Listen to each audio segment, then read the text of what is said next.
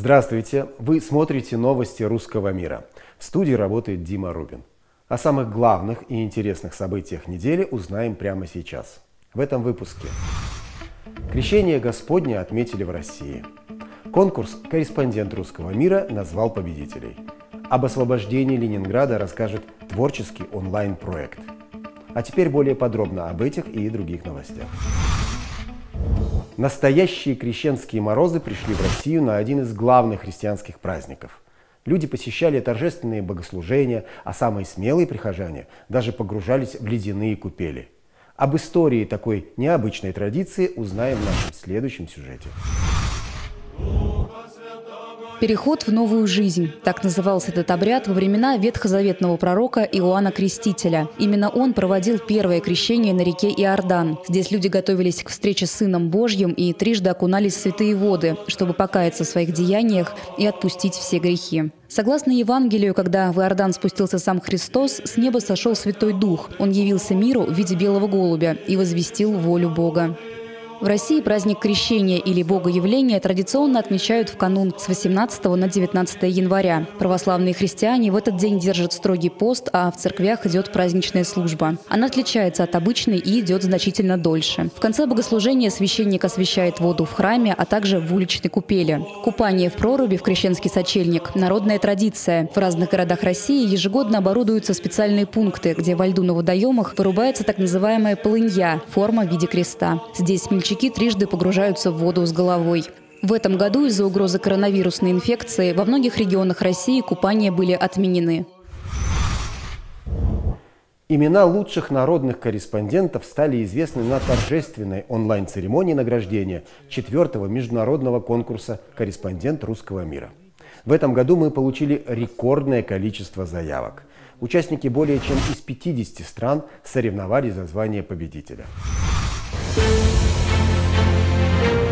Четыре года назад для объединения русскоязычных журналистов и всех, кто интересуется отечественной культурой и историей, был создан конкурс «Корреспондент русского мира». С каждым годом география участников разрасталась. Все больше людей хотели заявлять о себе и рассказывать о собственном видении мира. В 2020 году конкурс поддержал фонд президентских грантов. Благодаря этому проект удалось значительно расширить и преобразовать. Увеличилось количество номинаций. Конкурсанты отправляли свои теле- и радиоработы. Особое внимание в этот раз было уделено 75-летию Великой Победы. Жюри конкурса отметили лучшие работы в тематической номинации.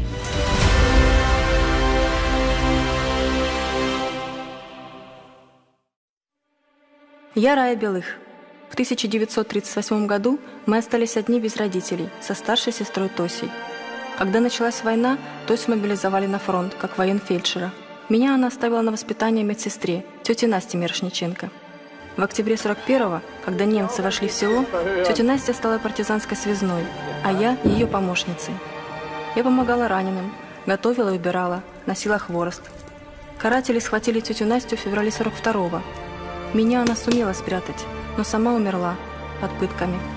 Пощады не просила и не ждала.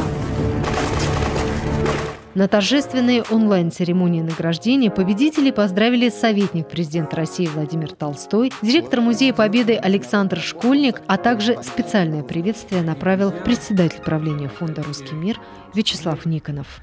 Как и всегда, ежегодно мы подводим итоги конкурса «Корреспондент русского мира». Каждый год лучшие работы получают признание. Обычно мы подводили итоги этого конкурса вместе, собравшись на Ассамблею русского мира, когда я имел возможность и посмотреть сами работы, и встретиться с нашими лучшими корреспондентами, э, вручить им подарки, призы, пожелать им успехов. Э, к сожалению, в этом году я смогу только пожелать успехов, э, дистанционно вручить призы и дистанционно поздравить.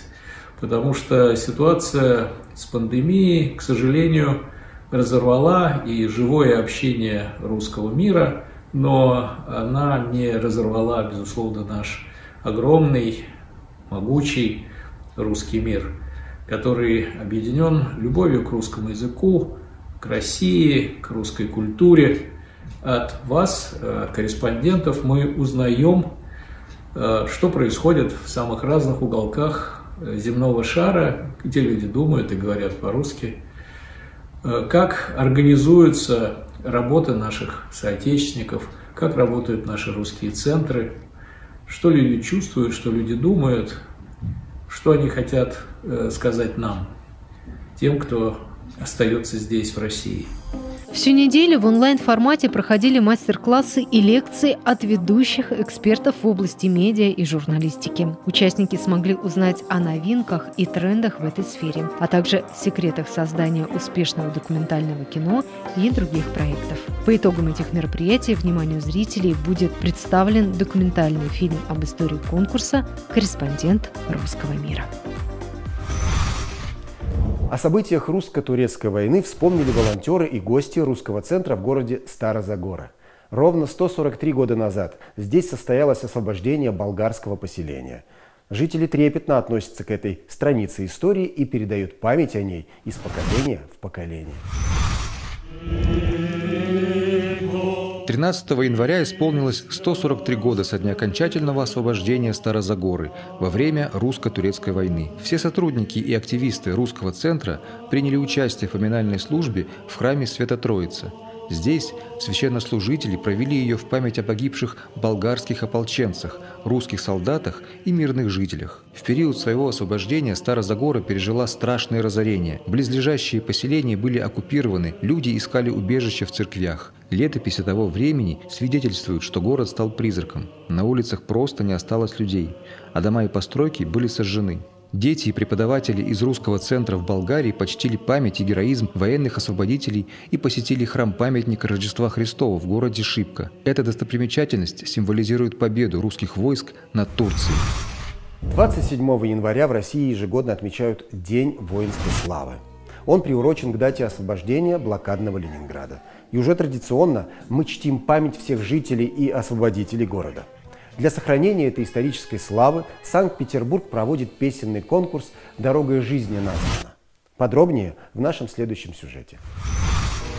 Я вспоминаю, здесь Творческие коллективы со всей страны, народные ансамбли, студенты, школьники и все желающие могут заявить о своей активной гражданской позиции через музыку и культуру. Региональная общественная организация «Творческий союз работников культуры и искусств» и Казачий информационно-аналитический центр проводят ежегодный всероссийский песенный онлайн-конкурс «Дорога из жизни названа». Этот проект направлен на сближение межнациональных сообществ и поколений. Кураторы конкурса конкурса привлекают молодое поколение и обращают внимание современных детей на важность сохранения не только исторических, но и моральных ценностей. И только очень верные друзья сюда на праздник сходятся шумливый. Я так хочу, чтоб кто-то был счастливым там, где безмерно бедствовала я. Для участия в конкурсе нужно подготовить творческий номер. Это могут быть не только исполнение военных песен, но также поэтические, хореографические или иные авторские постановки. Оценивать их оригинальность будут лучшие специалисты в области культуры и искусств, известные артисты, композиторы, ведущие педагоги и театральные деятели. Результаты конкурса будут объявлены 27 января, в День памяти воинской славы. Победители получат памятные призы, подарки и дипломы. О самых интересных событиях из жизни русского мира вы узнаете в нашем следующем информационном выпуске. Давайте делать новости вместе с телеканалом «Русский мир». Если в вашей стране, городе проходит интересное мероприятие, связанное с жизнью русского зарубежья, будем рады вашим репортажам с места события. Свои работы вы можете присылать по адресу новости rm собака До новых встреч. До свидания.